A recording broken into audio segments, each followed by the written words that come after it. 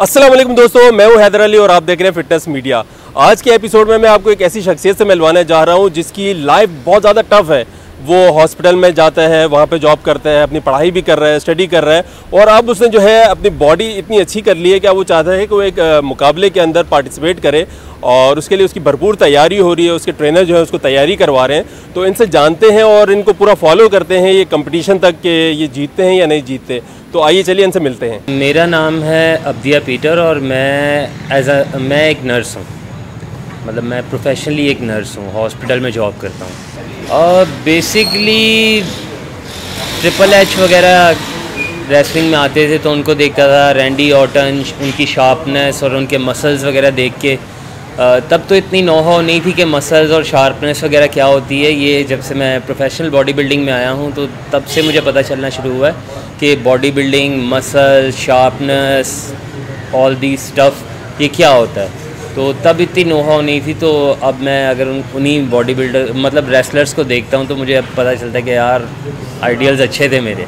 मैं बेसिकली कर तो काफ़ी अरसे से रहा हूँ मतलब जो बचपने में होती है, थोड़ा टाइम यहाँ कर ली, थोड़ा इस जिम में कर ली विदाउट ट्रेनर अनप्रोफेशनली मुझे वैसे करते हुए तो काफ़ी टाइम हो गया, लेकिन कभी कोई मतलब कोई ऐसा ख़ास रिज़ल्ट मेरी बॉडी में नज़र नहीं आया, बस खा लिया और जिम में गए, थक गया, बस वेट उठाया, थका लिया अपनी बॉडी को और घर आ गए। कोई इम्प्रूवमेंट नज़र नहीं थी आती तो as I came to my coach mister Dilawar तो इनके पास आने के बाद मुझे पता चला कि बॉडी बिल्डिंग असली में बोलते किसको हैं। इनके पास आके पता चला कि मतलब एक्सरसाइज करना क्या होता है। एक जिम आना और मतलब वेट उठा के अपनी बॉडी को थका लेना दैट्स नॉट इनफ लेकिन मतलब दैट्स नॉट इनफ तो बॉडी बिल्डिंग सही मायने में मुझे मेरे उस्ताद ने बताई है कि बॉडी बिल्डिंग बच्चा इसे बोलते हैं, ये चीज़ बॉडी बिल्डिंग है। मेरे स्टूडेंट है अब्दिया पीटर, उनको मैं तैयारी करवा रहा हूँ। वो एज ए नर्स जॉब भी कर रहे हैं, उनकी जॉब का ऐसा सिस्टम है टाइमिंग बहुत ओवर है। कोई टाइमिंग नहीं होती क्योंकि उनका अगर गए हैं सुबह सात बजे गए हैं तो वैसे उनकी छुट्टी अगर चार बजे होनी चाहिए तो अगर नहीं तो अगला बंदा अगर नहीं आया तो वो रात बारह बजे तक वहीं रुके होते हैं। अब वो इस दौरान मुझे बहुत कम टाइम दे पाते थे, लेकिन फिर भी हमने कोशिश करी उसे थोड़ा बहुत एक्सरसाइज जैसे भी हम अच्छा कर पाए तो एक दो महीने में हमने कोशिश की रही कि जितना अच्छा कर सके उनके लिए। इनकी मेहनत का ऐसा है, कह लें कि जो प्रोफेशनल बॉडी बिल्डर होता है, उसकी जो तैयारी शुरू होती है तो उसको कह लें कि दो टाइम एक्सरसाइज करनी होती है, उसके लिए रनिंग वॉक ये सारी चीज़ें बहुत मायने रखती हैं। अब इनका ड्यूटी टाइम इतना पीरियड लंबा है कि उसमें हम सब कुछ इससे करवा नहीं सकते थे। तो उसमें फिर ये जब रात को आते थे तो ये आते थे जब तो उनकी कंडीशन देख के मैं खुद परेशान होता था, यार, इसमें अब मैं इनको क्या करवाऊँ? क्योंकि ज़ाहिर है पूरी बॉडी डल हो गई पावर ही नहीं बची। तो यहाँ तो सारा पावर का काम है। ताकत आप लगाओगे तो थके हुए हो, सोलह घंटे, आठ घंटे की आप जॉब जॉब कर रहे हो, पढ़ भी रहे हो साथ। तो बड़ा मुश्किल था, लेकिन जितना हम आधा घंटा, एक घंटे में हम कुछ ना कुछ करके इनको दो महीने में हमने ये खड़ा किया इस मुकाबले में। अभी तो हम चाह रहे हैं कि इनको स्टेज नज़र आए, कुछ सीख सकें ये और अभी चूँकि इनके पास इतना टाइम भी नहीं है, जो एक प्रोफेशनल बॉडी बिल्डर को देना चाहिए तो अभी हम इनको सिखाने के लिए अगर ये अपना क्लास भी जीत जाते हैं तो इनके लिए एक अच्छी हौसला अफजा बात होगी। तो नेक्स्ट हम, जैसे इनके पास कुछ टाइम का कुछ होगा तो उसमें हम इनके लिए और कुछ बेहतर कर सकेंगे। आज हम लोग इनका वेट करवाने जा रहे हैं बॉडी बिल्डिंग का। जो शो होता है, उससे पहले ये होता है कि एक फार्म भरा जाएगा। कौन सी कैटेगरी में इन्होंने खेलना है, इनका बॉडी वेट क्या है? और मतलब इनका एक होते हैं कि कौन कौन से एथलीट्स खेलना है बॉडी बिल्डिंग खेलना है फिटनेस खेलना है तो वो फार्म में पूरा एक वो होगा। तो आज तो वहाँ की कंडीशन देखते हैं क्या होती है।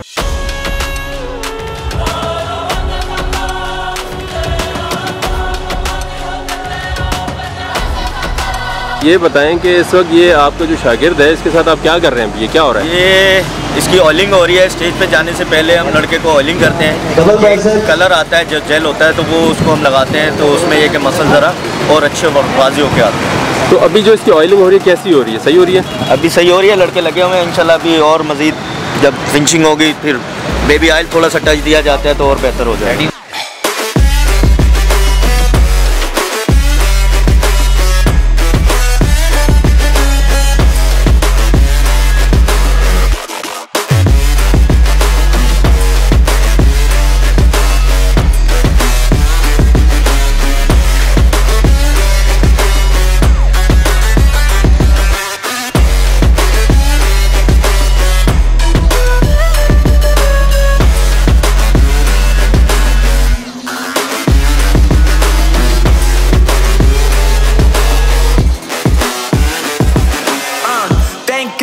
Brothers on the rise now.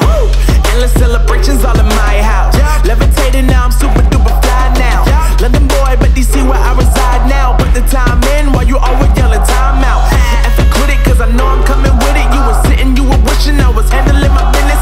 Now I got the ball like Harry Potter playing Quidditch. And my business is humongous, you that happens in it. Damn oh, man, I'm all that, yeah, I'm all that. Working for that whip, yeah, that what Master Jim say, Aap Diya Peter.